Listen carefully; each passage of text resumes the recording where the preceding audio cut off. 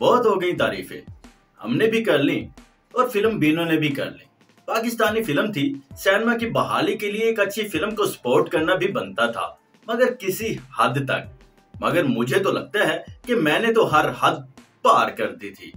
मगर मजीद नहीं। अगर आप जज्बाती हैं, हमसे ज़्यादा फ़िल्म इंडस्ट्री से मोहब्बत करते हैं, मेरे रिव्यू के बाकी चार पाँच वीडियो देख लें, जो कि मैंने फ़िल्म मोला जट की तारीफ़ और कामयाबी पर बनाई हैं। क्योंकि अब इस वीडियो में वो हकायक और वीक पॉइंट बताऊँगा, जो शायद आप लोगों ने नोट नहीं किए होंगे। ऐसी बातें बताऊँगा, जिसके बाद आप कहेंगे, ना ही इसको पाकिस्तानी फ़िल्म कह सकते हैं और ना ही डायरेक्टर बिलाल इशारी को एक अच्छा डायरेक्टर कहा जा सकता है। अगर आप लोगों ने चैनल को सब्सक्राइब नहीं किया तो जल्दी से सब्सक्राइब कर दें और वीडियो पसंद आए तो लाइक और शेयर करना ना भूलें।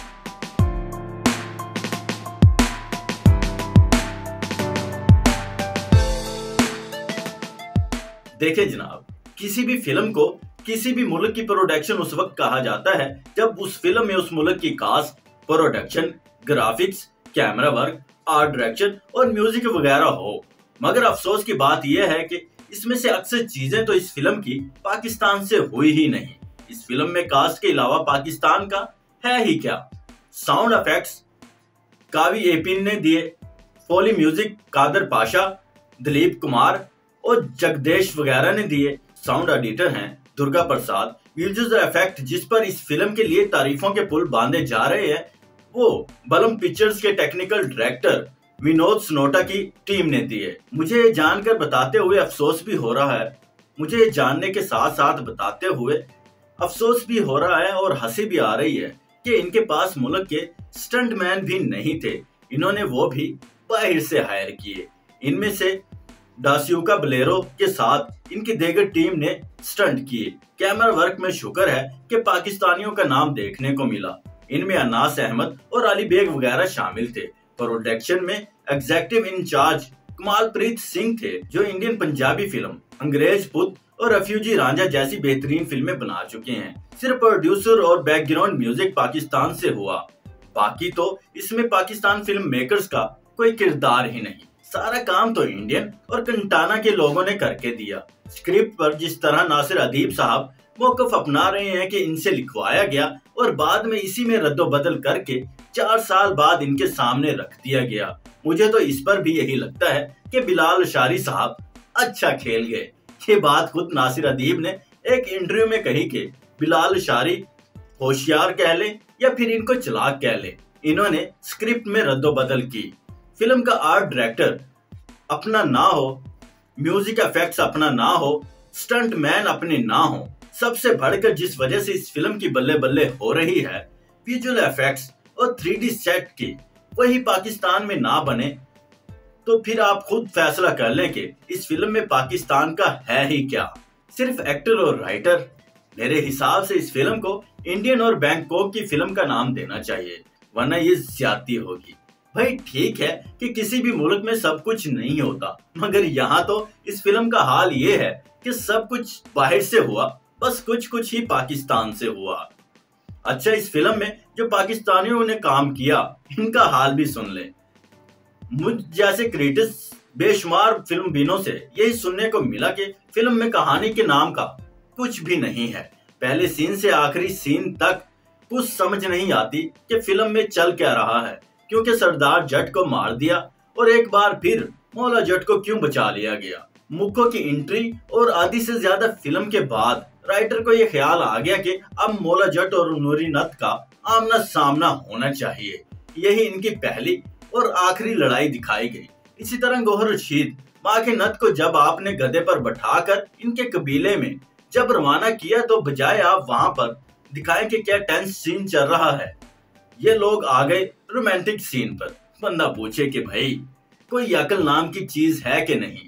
इतने इंटेंस सीन के बाद इस तरह का रोमांटिक सीन किस गधे ने मशवरा दिया था? अच्छा एक और ब्लंडर देखें। आप लोग स्टोरी तो देख रहे हैं। गाँव की, फिर ये किला कहाँ से आ गया? भाई, आपने अगर इनको सरदार दिखाना है तो मट्टी के घरों में आप कोई बड़ी हवेली शूट कर दे मेरे ख्याल से भूल गए होंगे कि हम मोला जट नहीं मुगल आज़म शूट कर रहे हैं। सारी फ़िल्म को देखकर यूँ लगता है कि जैसे इतुगल ड्रामा देख रहे हैं। इस रिंग को देखें, भाई ग्लेडिएटर की फील नहीं आ रही। भाई एक गाँव का जट तीस साल बाद मैक्समस रोसल बना दिया। जितने जो पैदा करनी थी, कुछ तो खुदा का खौफ कर लो भाई। सारी फ़िल्म में उर्दू एक्सेंट के साथ पंजाबी बोली गई। ज़ुबान की बात आई गई तो भाई बता दूँ कि आप लोगों ने अगर कराची के उर्दू बोलने वाले ही अदाकार लेने थे, कम से कम किसी पंजाबी से डबिंग करवा लेते।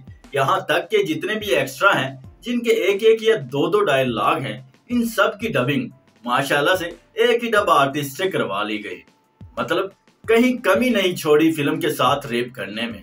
इस फ़िल्म में सिवाय पुरानी मोला जट के मशहूर डायलॉग के, कोई नया ऐसा डायलॉग नहीं डाला गया जो उस तरह की मकबूलियत हासिल कर ले। हाँ कुछ सीन्स में गालियाँ डालकर ज़रूर नयापन दिखाया गया है। एक सीन में मोको जब मोला जट को खाना खिलाने आती है, अब चाहिए तो ये कि आप एक दही फ़िल्म बना रहे हैं, वहाँ पर कोई मक्खन के साथ साग रोटी हो, जो कि एक पसंदीदा डिश है गाँव की। ये मैडम नान चने लेकर आए। इस दौर में देहात में नान चने का कंसेप्ट कहाँ से आ गया भाई? क्या दिखा रहे हैं? आप हिस्ट्री और रवायात की माँ बहन तो एक ना करे ना। भाई देखें, अगर यूँ ही उंगलियाँ उठाऊं तो बेशुमार चीज़ें ऐसी हैं, इस फ़िल्म में जिन पर सवाल उठाए जा सकते हैं, मगर आपके और मेरे पास इतना टाइम कहाँ? बस इतना कहूँगा कि भाई, ठीक है कि फ़िल्म में आपके पास एक क्रिएटिव लिबर्टी होती है, आप कुछ चीज़ों को ऊपर नीचे कर सकते हैं, मगर ये तो वो बेसिक चीज़ें थी, जिनसे खेलने का आपके पास कोई हक नहीं था। आप मुगले आज़म फ़िल्म बनाएँ और इसमें बादशाह को कोट टाई पहना दें उसको आपने बादशाह वाला ही गेटअप देना होगा। ऐसी जगह पर कोई लिबर्टी नहीं होती। ये वो काम थे जो बिलाल शारी ने करने थे, जो इन्होंने किए। इससे ये बात साबित होती है कि बिलाल शारी भी वही रिवायती डायरेक्टर हैं, जिनके बस की बात नहीं के वो इंडियन फ़िल्म इंडस्ट्री को टक्कर दे। मुझे उम्मीद है कि आपको ये वीडियो पसंद आई होगी। आप मेरे रिव्यू से कितना मुतफिक हैं और आपको क्या इख्तलाफ है कमेंट में ज़रूर बताएँ।